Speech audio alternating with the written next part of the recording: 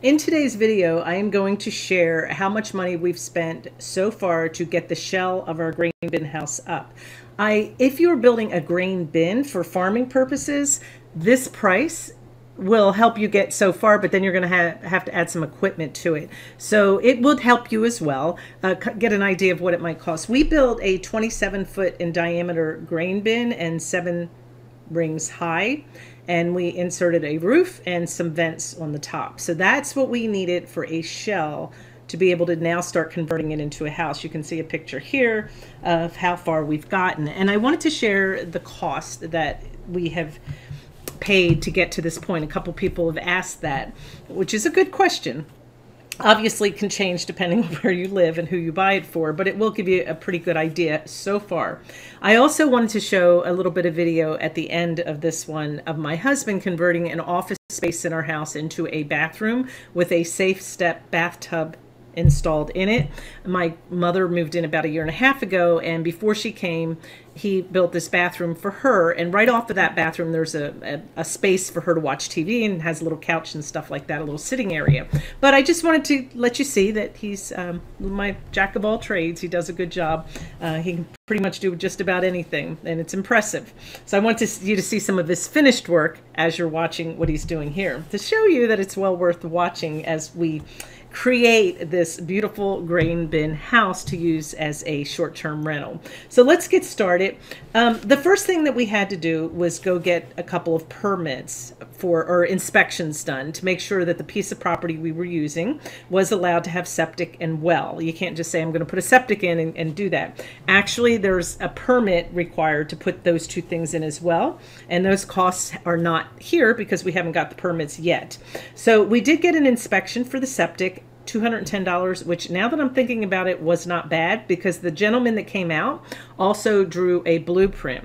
And while we've been looking for someone to come and put the septic in, we're debating of doing it ourselves or hiring someone.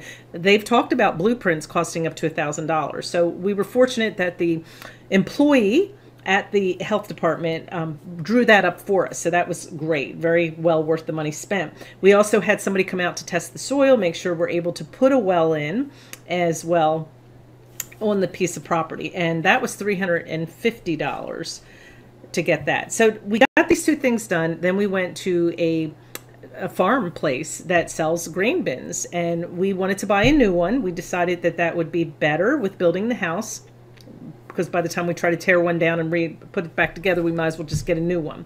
So that cost five thousand one hundred and thirty-one dollars and sixty cents. And like I said, it's uh, the diameter is twenty-seven feet, seven rings high. That included the roof and then three vents that we're putting at the top. We had to wait a while to have that delivered. There were some manufacturing issues, so it took a good six months to even get that to come in. Um, but it is here, as you can see. Everything's cool. Before we could have the grain bin delivered, obviously we had to have a pad of concrete poured. And again, you can watch our playlist. It's at the end of this video where I'll go into more detail, but a pad was poured, not as heavy as a pad that would have been poured if it was being used as a grain bin. So that's what I'm saying. Going to be extra costs if you want a grain bin to be used for grain.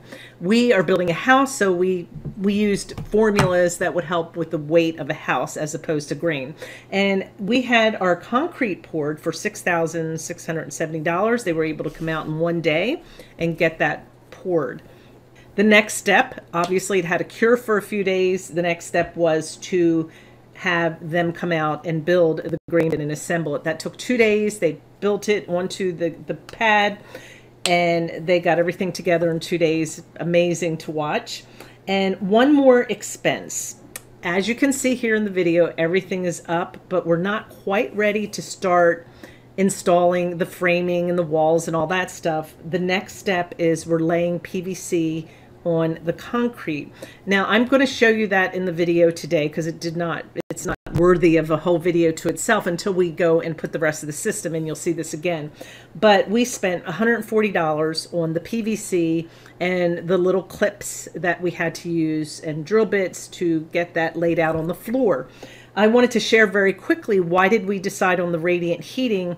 When we went and bought the grain bin, he talked about the seal around the bottom where the, the grain bin touches the concrete, he had a friend that actually built a grain bin house and they were having problems with the seal along the bottom and the moisture getting in. So my husband decided, why don't we go ahead and put radiant heating in, pour another layer of concrete for the floor, and then that will seal it automatically.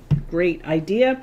And so you see him here in these photos putting the PVC in. Now the problem with that was when they lay they poured the pad, it's not 100% level because the same company knew that they were coming back to level a floor. So it wasn't as important, can't blame them. Uh, and so my husband had to go in and level the PVC. So that did take a few days for him to get that just right. He also wanted to make sure that the clips were put into the concrete to hold the PVC in place for when they pour it. Next week, we're going to show you that pour.